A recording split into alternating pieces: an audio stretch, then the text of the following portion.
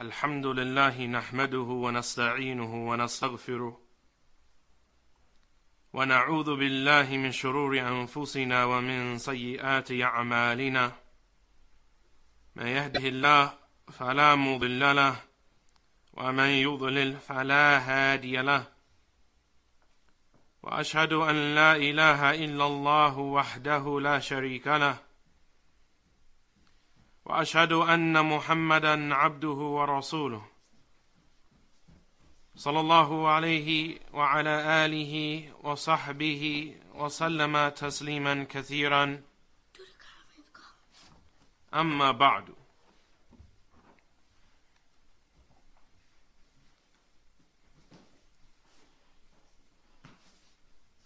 A question for the sisters. And it's a rhetorical question, or it's a, I mean, I don't want to answer. But I want you to ask yourself what are your rights as a parent? What are the rights of the parent upon the child?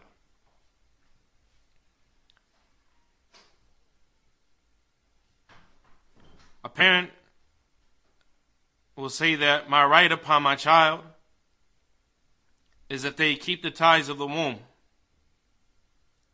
My right upon my child is that they treat me well. My right upon my child is that they do not mistreat me. They do not mistreat me in anything that can be considered disrespect, or with anything that can be considered disrespect. To the point some of the Salaf they said, ما بر والديه من أحد إليهم إليهم النظر. He said that a person has not shown al-bir, he has not shown kindness to his parents who gives them a sharp look. It's not permissible for your child, no matter what age they are, to give you a dirty look. It's not permissible for your child to suck their teeth at you or smack their lips. It's not permissible for your child to raise their voice at you. It's not permissible for your child if you were to call them to pretend like they don't hear you. It's not permissible for them. It's not permissible for them if they're at the age of al-mas'uliyah, the age of al-bulugh, the age of puberty, where their actions are being written for or against them, then those things are considered sins. And they are tremendous sins. And in some cases, they can be from the major sins. The Prophet ﷺ, he said that there are three. لا يدخل الجنة. There are three that will not enter the paradise.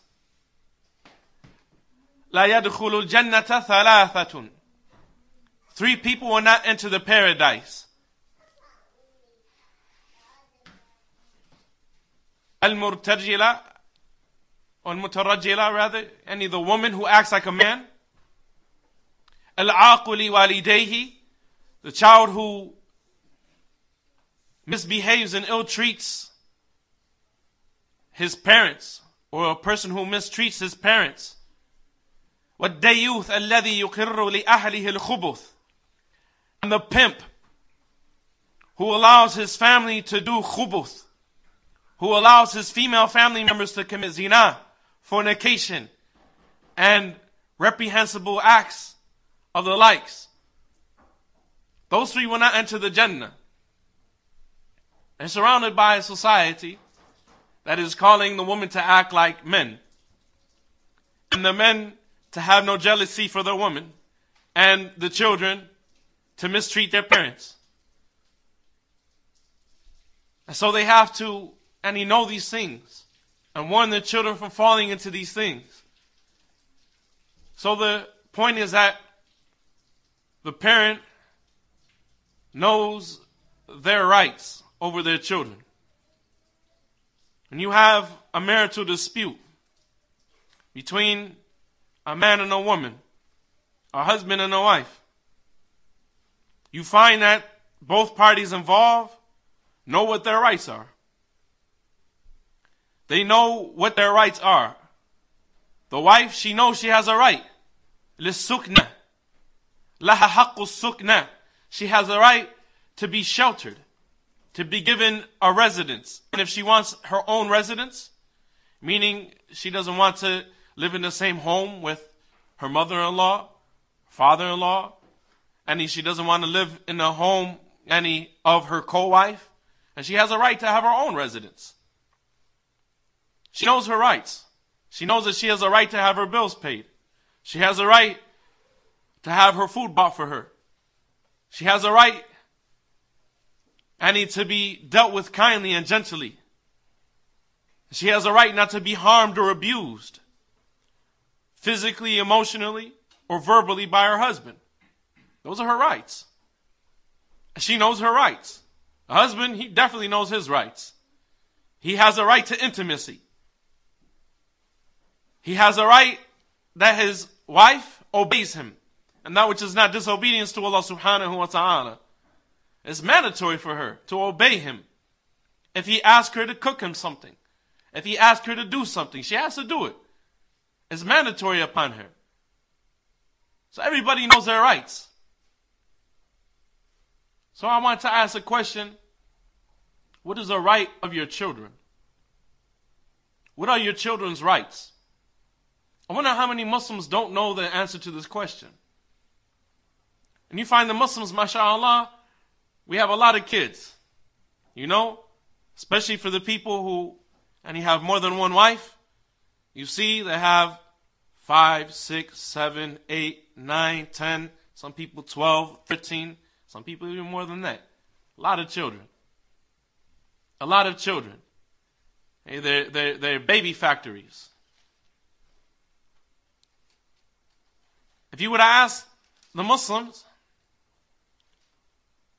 these Muslims, and who are scaring the kuffar to death because they're reproducing faster than them, the kuffar are afraid that the Muslims will soon become a majority in many places in Europe, and that the population of the Muslims are going to and they take over the kuffar because the Muslims reproduce quicker than the kuffar because the kuffar and he practice all sorts of birth control and abortion and so on and so forth. And the Muslims, mashallah, they have tawakkul on Allah subhanahu wa ta'ala. And so the Muslims, hey, they're reproducing at a quick rate, much quicker than the kuffar. And the kuffar are scared to death. So we see the Muslims having all these kids. You see the Muslim sister in the grocery store, she has a small army with her.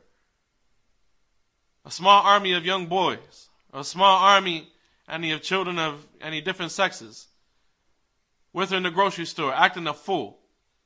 Right? Just like all of our kids acting a fool in the grocery store.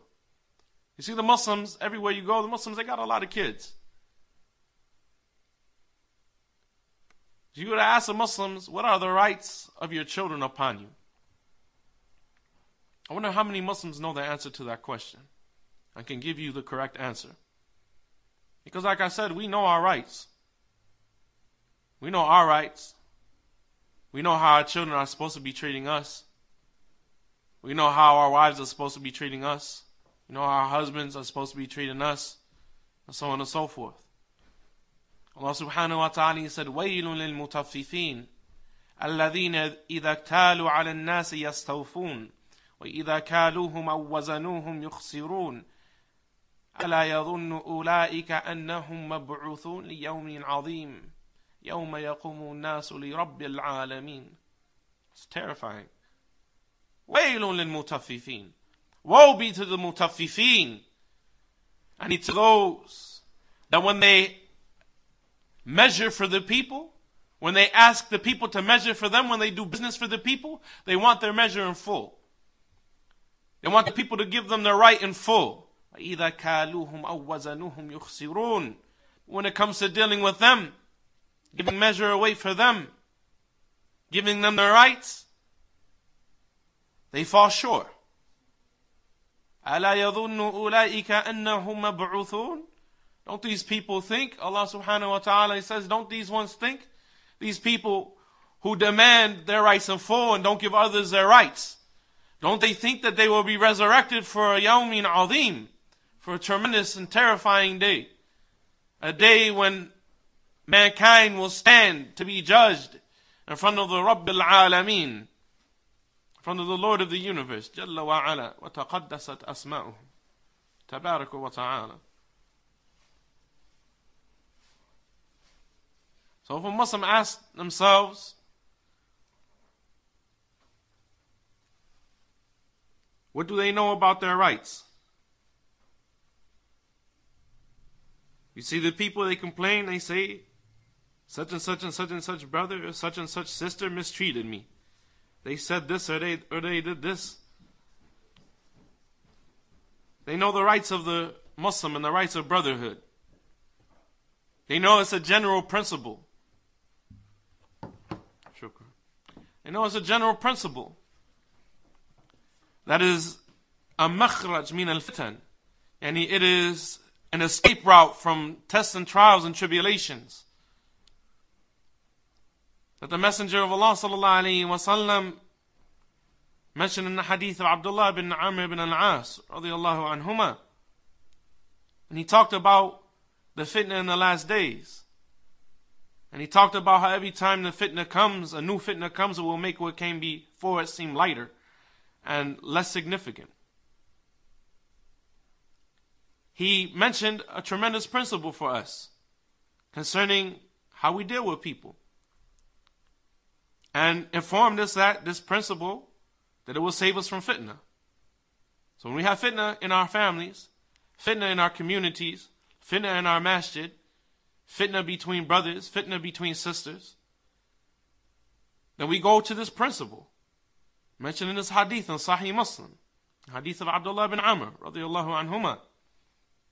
The Messenger of Allah sallallahu alayhi wa sallam he said, تجيء الفتن فيرقق بعضها بعضا تجيء الفتن فيقول المؤمن هذه محلكتي تجيء الفتن فيقول المؤمن هذه هذه and he mentioned about fitna, that fitna will come every time it comes, it will make what came before seem lighter.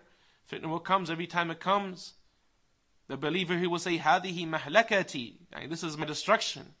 The ulama they mention in this in the explanation of this hadith, if you were to look in the statements of the muhaddithin and the explanation of this hadith, they say that the fitna yani, is like amwajul bahr. It is like waves in the ocean.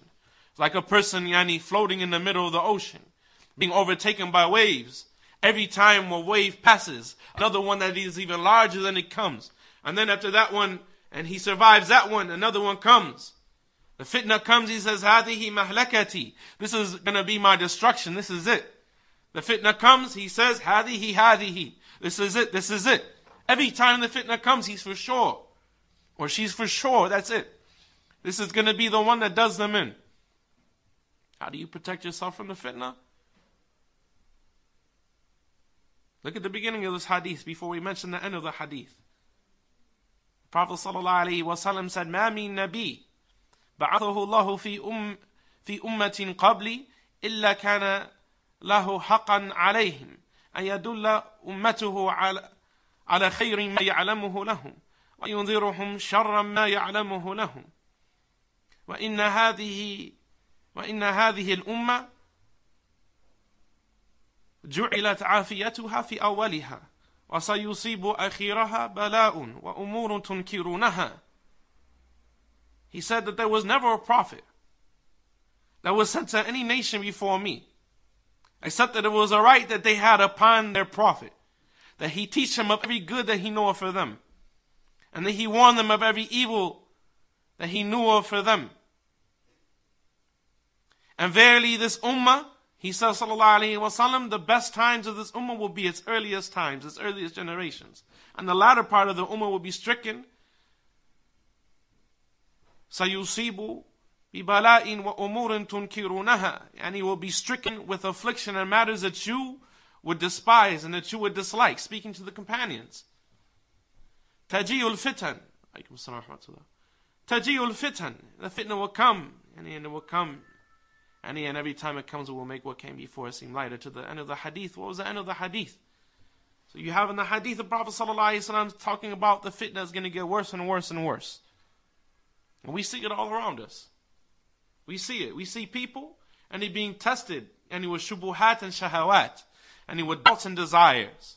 doubts and desires that may make them leave from their religion. All the time. All the time. Allah musta'an. And he, it has a very harmful effect upon a person's religion, and sometimes any, a person's religion doesn't survive it. So he mentioned at the end of the hadith, sallallahu alayhi wasallam, what is the solution? What is the solution?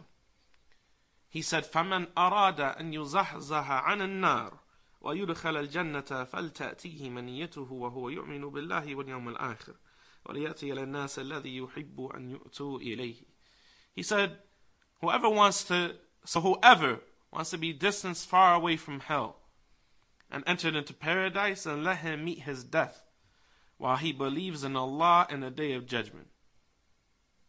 And let him deal with people how he would like to be dealt with. Let him deal with people how he would like to be dealt with. That's the answer, the solution to all the problems in the world. Al Iman in Allah subhanahu wa ta'ala in the day of judgment. The people believe in Allah in the day of judgment. It's a cure for all fitna. It's a solution for all problems. That the people believe in Allah and the day of judgment and the, and the day of judgment. And they believe in the paradise and the hellfire and the punishment in the grave and so on and so forth. And it has a tremendous effect upon people. And he, nobody has to supervise them and watch over them to make sure they're doing what they're supposed to be doing because they have a raqib. And they know that Allah subhanahu wa ta'ala is that raqib. They have someone who's watching them. They know that it's Allah subhanahu wa ta'ala. And they have al wazi'ud And they have that which is from the religion that compels them to behave the way that they behave. It's a solution to fitna that the people believe in Allah in the day of judgment. And that they deal with people how they would like to be dealt with. They deal with people how they would like for Allah to deal with them and how they would like for people to deal with them. The one who shows mercy to people, Allah will show him mercy. The one who has yani nush, goodwill towards the people, wants the good for them, and teaches them the good, then Allah subhanahu wa ta'ala will want the good for him and Allah subhanahu wa ta'ala, because of, because of his taqwa, Allah will allow him to learn more and learn more and learn more. The person who forgives, Allah will forgive him. The person who is yani, lenient with those that he loans money to, Allah subhanahu wa ta'ala will be lenient concerning his right on the day of judgment with that person. You deal with people how you would want to be dealt with and you deal with people how you would want Allah to deal with you. So if we ask ourselves a question, what are our rights? What do we know about our rights?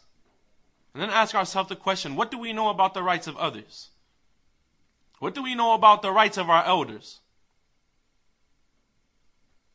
What do we know about the rights of those who contribute in good, who spend from their wealth, the people who spend from their wealth?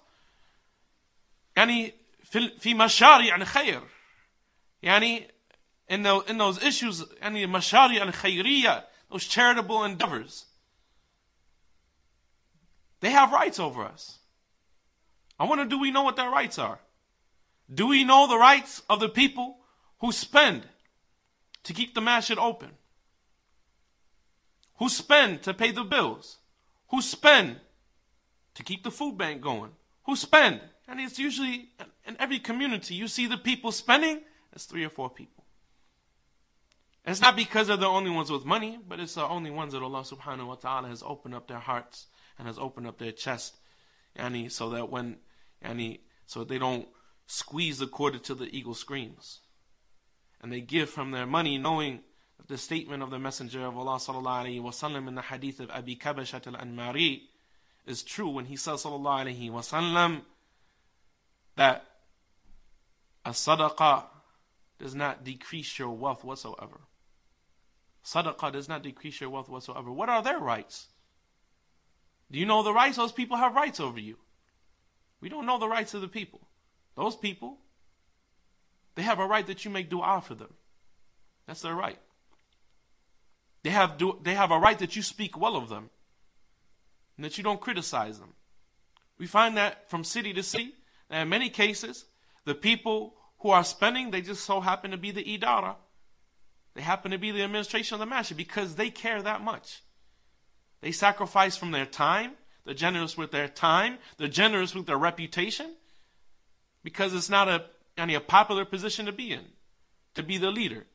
Everybody wants to see, everybody sees what you're not doing and, and, and sees any what you don't have of good. They don't see the good that you have, they see what you don't have of the good. And what you're lacking, your, your, your faults, your flaws. You find that people complain about the administrations of the masajid. They don't know those people are the people keeping the masjid running.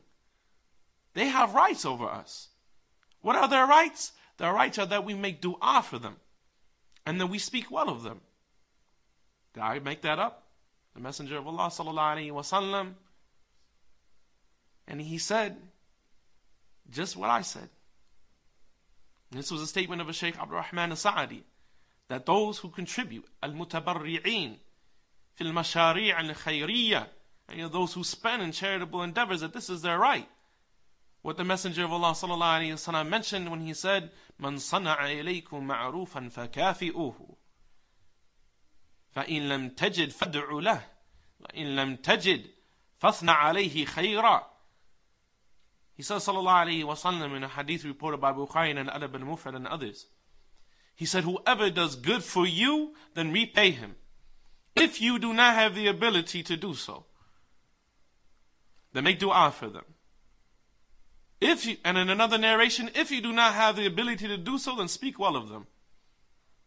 We don't know the rights of the people. What are the rights of our elders? What are the rights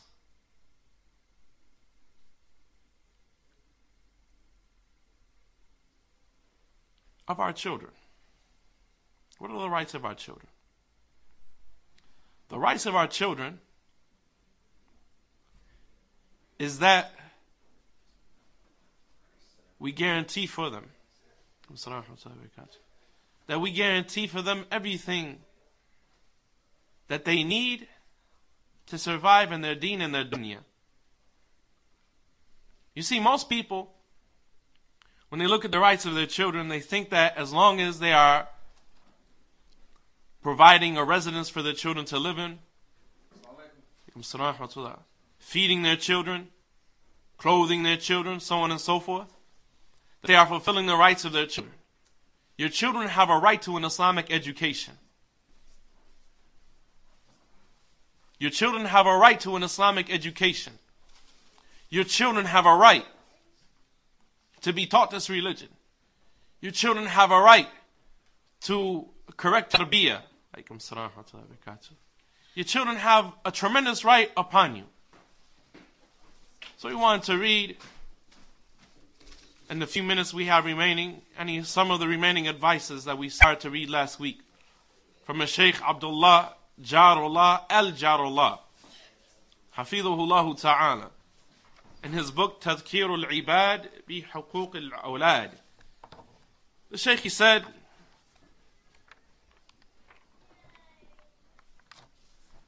that from the rights of the children, or from the obligation of the parents over their children. He said, حملهم على صحبة الأخيار الصالحين الذين عرفوا الحق واتبعوه وتحذيرهم من صحبة الأشرار والمنحرفين في دينهم وأخلاقهم. He said, then it is to make sure that your children Befriend people who are good and people who are righteous, who know the truth and who follow the truth. Your children befriend other children who are good and who are righteous, who know the truth and who follow the truth. Not that a Muslim child has a friend, and while they're with their friend, they say, that my father doesn't allow me to do such and such, and my mother doesn't allow me to do such and such, and I can't do this, and I can't go here, and I can't watch this. And while they're with their friends, all the rules that their parents have put in place for them go right out the door. Their friend may not know right from wrong, or not know enough right from enough wrong. And sometimes children only do what they're supposed to be doing when they're being watched and supervised. Sometimes, when a child has a stupid friend, and many of us can relate because growing up as non Muslims, we had a lot of stupid friends. When a child has stupid friends, he may be a good kid. She may be a good kid. But it's like Ibn Hibban al Busti, he mentioned in his book Rawdat al Uqala, a book about intelligence and how good character is a sign of intelligence. He said that the harms of hanging out with stupid people is that if their company doesn't harm you, it won't benefit you.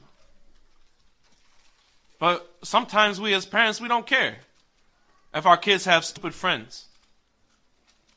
They have friends that are misbehaved and who treat their parents in a way that is not permissible in the religion of Allah subhanahu wa ta'ala. So the Shaykh he said that it is mandatory upon the parents towards their children to guarantee and to check to make sure that they have righteous friends, friends that are upright, araful haq wattaba'uh, and who know the truth and who follow the truth. And that they warn their children from taking evil people and sinful people as friends. Any children who are deviant in their behavior, deviant in their religion. Find some of the teenage girls. The parents will send them to a school, Annie, thinking that, Annie, and without a doubt, sometimes it's the lesser of two evils. You send your children to a school that is run by the Hizbis because the Salafis are shiftless and are fickle. And we don't have our business together and we don't have schools. Wallahu musta'an. And so the teenage girl, she sees the other girls in her school and in the best scenario, it's a school that doesn't have free mixing, although there's nothing like that in this city. Any a, a, a, school for teenage where a teenage girl can go, a Muslim girl can go, and there's not free mixing with boys and men. Wallahu musta'an. Any, but in the best case scenario, maybe a girl can be in a situation where she's in a Muslim school that's not run by people who are yani, upon the aqidah and the manhaj of Ahlul Sunnah wal Jama'ah. Her friend doesn't cover her feet. Her friend doesn't cover her face. Her friend, and he wears a khimar with Tommy Hilfiger jeans and a tight shirt that grabs onto her bosoms. So what happens? She goes out the house one day, you didn't see her, she wasn't wearing socks. It starts with socks. We've seen that happen. A sister, and he says, I don't know of any proof that says I don't have to cover my feet. Somebody says that's harmless, I and it's just her feet. I And she probably has any corns and bunions on her feet and stuff anyway. And they're not attractive. And what, what does it matter whether, whether or not she covers her feet? There wasn't a difference between the scholars at any time and any place that a woman had to cover her feet, either with a garment that was long enough to cover her feet or by wearing socks. None of the scholars differed over that. On the four madhabs, none of them. None of them. We don't know of a single statement of the Sahaba, the Salaf, the Tabi, the Tabi'in, the Tabi Tabi'in that says that the scholars differed over whether a woman had to cover her feet. But she thinks that it's something she has an option in. So it starts with her feet and we're not saying this theoretically, we're saying this is something that we've seen happen. It starts with her feet, and then she has a baby by a kafir the next year. How did you go from this to that? It reminds us of a statement of, a, of Allah subhanahu wa ta'ala. when Musa said to his people, أَتَسْتَبْدِلُونَ الَّذِي هُوَ أَدْنَى بِالَّذِي هُوَ خَيْرٌ اهْبِطُوا مِصْرًا فَإِنَّ لَكُمْ مَا سَأَلْتُمْ Will you exchange that which is least, that which is less for that which is, the, in the place of that which is better? Allah had given the people food, manna wa salwa from the heavens. Food from the heavens that none of the people was eating. The people, they said, we want to go down to the land and see what the people have of lentils and onions and so on and so forth. Musa, he said, will you exchange that which is least in place of that which is better? Go down to any land and you'll find what you're asking for. What did Allah say after that? وَضُرِبَتْ عَلَيْهِمُ الظِّلَّةُ وَالْمَسْكَنَةُ وَبَاءُوا بِغَضَبٍ مِّنَ اللَّهِ He said, and humiliation and ignominy was placed upon them. And they incurred the wrath and the anger of Allah subhanahu wa ta'ala. ذلك بأنهم كانوا يقتلون الأنبياء بغير الحق وبما كانوا يعتدون That is because they killed the prophets and the messengers without a right and because they used to oppress the people. The Sheikh Abdul Rahman Asadi said, look at how Allah mentioned this and then mentioned that. It started with the people, yani just wanting something that was less beneficial, having low aspirations. These low aspirations led them to minor sins, led them to major sins, led them to kufr, let them to shirk, let them to killing the prophets and the messengers and transgressing against one another and against the creation of Allah subhanahu wa ta'ala. There's nothing light in the religion. Allah subhanahu wa ta'ala said, Inna sanulqi alayka qawlan thaqila. Indeed, we are going to cast upon you, O Muhammad sallallahu alayhi wa sallam, a weighty and tremendous word. Imam Malik, he was asked about an issue. And he said, La adri, la adri, la adri. I don't know, I don't know, I don't know. A man kept asking him and asking him. He said, Look, I don't know.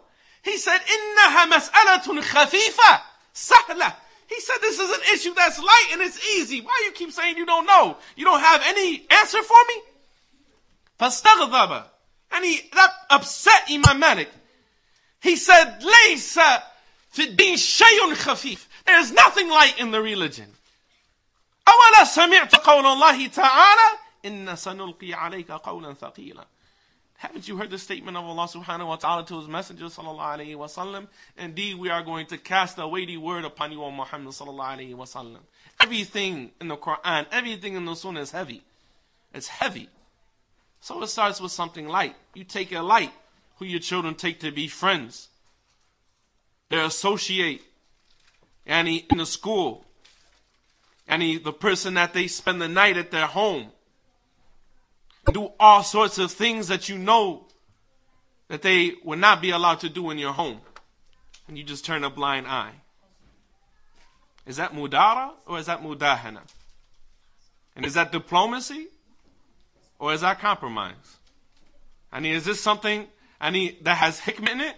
Is a wisdom and you're doing that for the good of your child or you're doing it because you're a coward how will the Muslims ever be successful when they're afraid of their children? How can we be afraid of our children? So the Sheikh, he said, uh, Sheikh Abdullah Jarullah, he said it is mandatory upon the parents to guarantee that their children have righteous friends who know the truth and who follow the truth. And that they warn their children from having evil associates. And those evil associates become bad any accomplices. Any, and you see the people any, in the same jail cell, Muslims, in the same jail cell. Any, they were Muslim children that were playing in the masjid. Like our brother Abu Wais, rahmatullah alayhi, said, and he, we see them when they're three and they're four, reciting the Quran and praying like malaika, like angels. And you couldn't imagine anything more beautiful from the creation of Allah subhanahu wa ta'ala than these little Muslim children reciting their Fatiha, prostrating, two, three years old. We see it all the time little girl, she wants to wear the hijab and be like her mother. And he, the children, they, they, they emulate their parents. And he wants to be the best people they can be. And either three, four year olds are like that. And when they're 14, 15, 16 year old, they're like shayateen. You can't distinguish between them and the kafir in the street. As a matter of fact, it might be better for you to run into the kafir in the street than run into some of these people out here and who are upon their whims and their desires. Wallahu musta'an.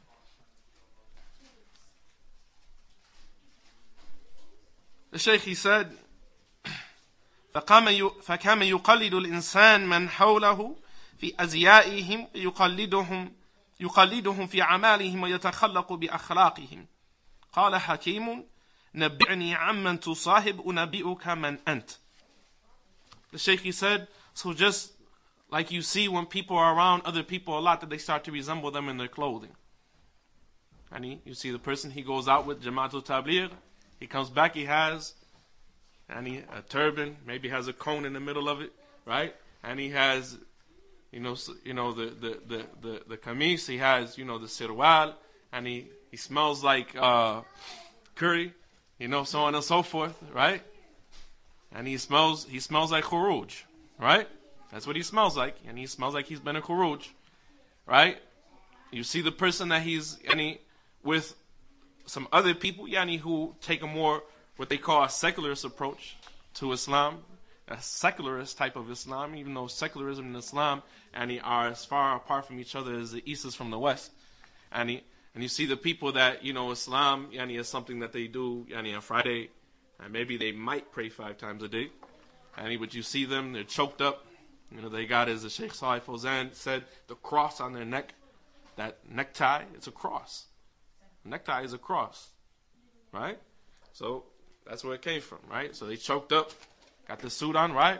So just as people resemble people in their appearance that they're around, he said people also resemble people in their behavior and their akhlaq, right? They say as-sahibu sahibu.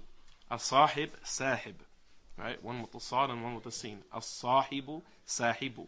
The sahib, the companion, and he's the one that he sucks you in. He pulls you in, right? He said that a wise person, he said, Nabi'ni amman tusahib unabi'uka man ant. He said, Tell me about your friends and I will tell you who you are. Tell me who are your friends and I will tell you who you are. So, any of this is all that we went home with today. Any this tremendous advice from the Shaykh about any the uh, friends of your children. This will any have been sufficient for us because it's something that as I said, if it's taken lightly, and if it's taken lightly, then it will cause tremendous harm in the Muslim home. It will cause tremendous harm in the Muslim home. And you see children who are disrespectful to their parents, any sucking their teeth at their parents, giving any cold and mean looks at their parents, any acting like they don't hear you in the masjid. Their parent calls them, Ya Fulan, Ya Ahmed, Ya Muhammad, Ya Umar, Ya Fulan, come here. Come here. The child acts like he don't hear his parent. And he's looking around like he didn't just hear. Everybody in the masjid heard your parent call you, right? And he, you see that sometimes if you were to let your children be around these children too much, and some children who are like that, that they bring that back into the home, and he, and that's that's when they're not even any friends like that. They're just associates in the masjid. So what about, yani, making uh, allowing your children to just be best friends with somebody just because? and we don't want to hurt somebody's feelings. We don't want to any offend somebody's sensibilities. At the cost of what? At the cost of what? Whatever the case هذا والله أعلم. وصلى الله وسلم وبارك على نبينا محمد وعلى آله وصحبه. وجزاكم الله خير الجزاء. أقول قولي هذا وأستغفر الله لي ولكم. سبحانك اللهم وبحمدك أشهد أن لا إله إلا أنت أستغفرك وأتوب إليك.